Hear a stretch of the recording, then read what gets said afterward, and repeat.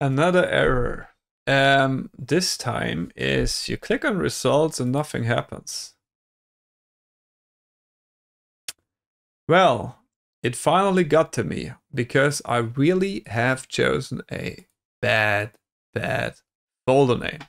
So if I just hit two pages here and then switch to the hyperview page and then click on open and then go to my really bad folder name and see what I have here. No, this is not right open. Let's go on here. Now I am in hyperview, hopefully. No, sorry.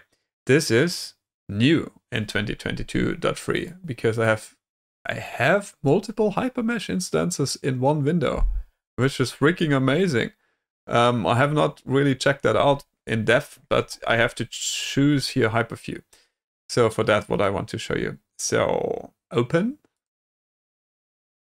Then go here to my really bad folder name.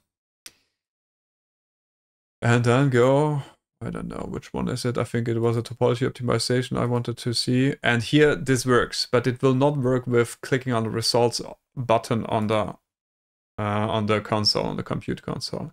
So please don't use stupid letters, don't use spaces, and I think that's it. Hopefully. Yeah.